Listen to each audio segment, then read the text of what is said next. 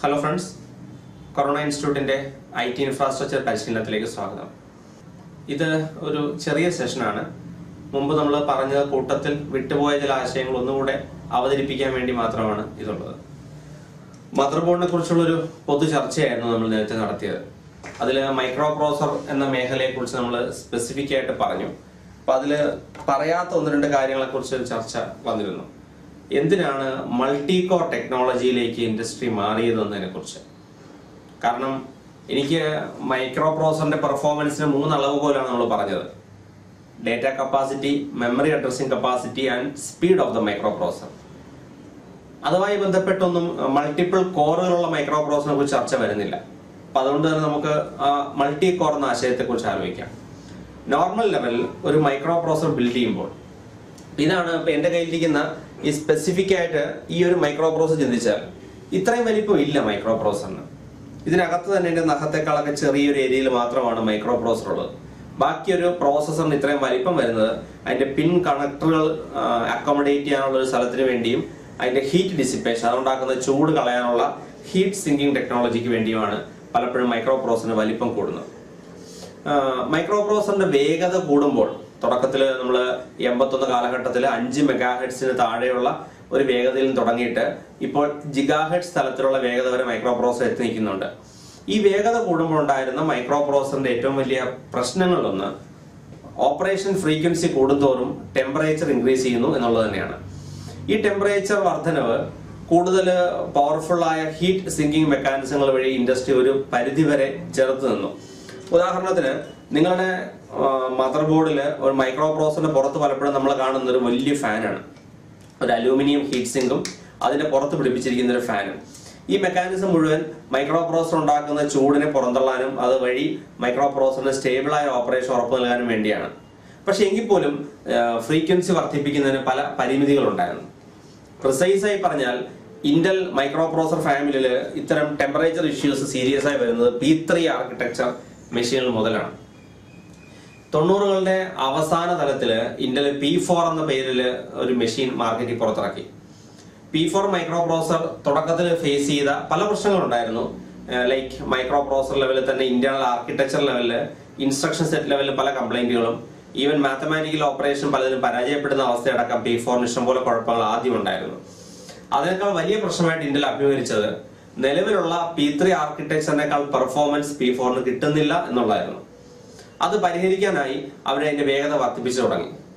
അങ്ങനെ തുടക്കത്തിൽ ഇറങ്ങിയ ആയിരത്തി എഴുന്നൂറ് മെഗാഹെഡ്സ് ആയിരത്തി അഞ്ഞൂറ് മെഗാഹെഡ്സ് റേഞ്ചിലൊക്കെയുള്ള പി ഫോർ മൈക്രോ പ്രോസർക്ക് പകരം two point four gigahertz അതായത് രണ്ടായിരത്തി നാനൂറ് മെഗാഹെഡ്സ് ഉള്ള മൈക്രോ പ്രോസർ ഇറങ്ങുന്ന സമയത്താണ് പി ഫോർ എന്ന പ്രൊഡക്റ്റ് പി ത്രീയുമായി പിടിച്ചു നിൽക്കാവുന്ന അവസ്ഥയിലേക്ക് മാർക്കറ്റിലെത്തിയത് തുടർന്ന് ത്രീ ജിഗാ ഹെഡ്സിന്റെ ഒരു പ്രോസസർ ഇന്റൽ റിലീസ് ചെയ്തതോടുകൂടി ഇന്റലിന്റെ ഡിസൈൻ ലെവലിൽ ഒരു വലിയ പാളിച്ച വെളിപ്പെട്ടു.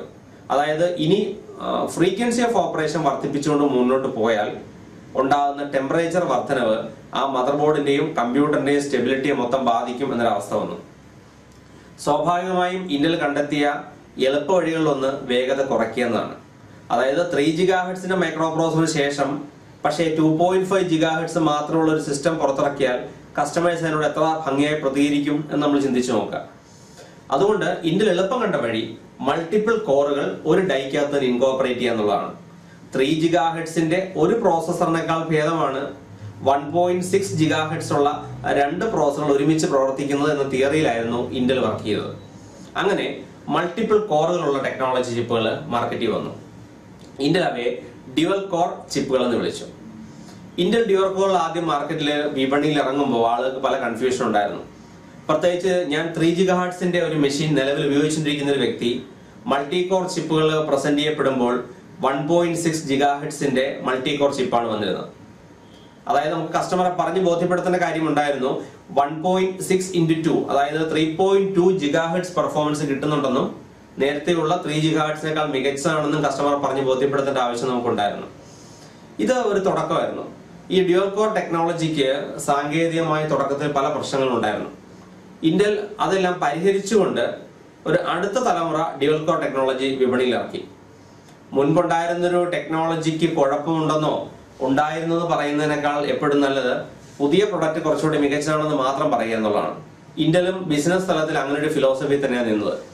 അതുകൊണ്ട് തന്നെ ആദ്യം ഇറങ്ങിയ ഡ്യുവൽ കോർ ടെക്നോളജി ചിപ്പുകളെ ഇന്റൽ പെന്റിയം ഡ്യുവൽ കോർ എന്ന് മാത്രമാണ് വിളിച്ചത്.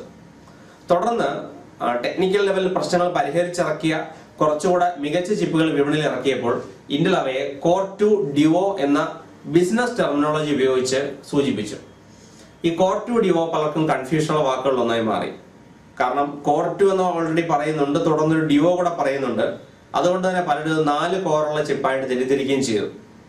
ഇന്റലിന്റെ മാർക്കറ്റിംഗ് ടീമിന് അങ്ങനെ ഉദ്ദേശം ഉണ്ടായിരുന്നു എന്നറിയില്ല. എന്തായാലും ഡ്യുവൽ കോർ സാങ്കേതിക വിദ്യ തന്നെയാണ് കോർ ടു ഡ്യുവൽ ഉപയോഗിച്ചിരിക്കുന്നത്. വ്യത്യാസമുള്ള കാര്യം ഡ്യുവൽ കോർ എന്നത് പൊതുവായി ഉപയോഗിക്കാവുന്ന ഒരു ജനറൽ ടെർമിനോളജിയാണ്. കോർ ടു ഡ്യുവൽ എന്നത് പൂർണമായി ഇന്റലിന്റെ ട്രേഡ് മാർക്ഡ് ആയ ബിസിനസ് ടെർമിനോളജിയാണ്. അല്ലാതെ സാങ്കേതികമായി കോർ ടു ഡ്യുവലിന് പ്രത്യേക അർത്ഥങ്ങളൊന്നുമില്ല. നമുക്ക് എളുപ്പം ഓർക്കാൻ പ്രശ്നങ്ങൾ പരിഹരിക്കപ്പെട്ട ഒരു ഡ്യുവൽ കോർ ടെക്നോളജി ചിപ്പ് എന്ന് വിചാരിക്കാം. തുടർന്ന് കോറുകളുടെ എണ്ണം വർദ്ധിപ്പിക്കുകയുണ്ടായി. നമ്മൾ രണ്ട് കോറിൽ നിന്ന് നാല് കോറിലേക്കും. പിന്നെ സർവർ മേഖലയിലെങ്കിലും നാല് കോറിൽ നിന്ന് എട്ട് കോറിലേക്കും എട്ടിൽ നിന്ന് പതിനാറിലേക്കും ഒക്കെ വർധനമുണ്ടായി എങ്കിലും ഡെസ്ക്ടോപ്പ് കസ്റ്റമറെ സംബന്ധിച്ച് ഇപ്പോഴും നമ്മൾ നാല് കോറാണ് നമ്മളെ സംബന്ധിച്ച് ഏറ്റവും പ്രസക്തമായി നിൽക്കുന്നത്. എഗെയിൻ കോറുകളുടെ എണ്ണം പുറത്തറിയുന്ന രീതിയിലുള്ള നെയിമിംഗ് കൺവെൻഷൻസ് ഇന്ത്യയിൽ ഉപേക്ഷിച്ചിട്ടും കുറച്ചു കാലങ്ങളായി.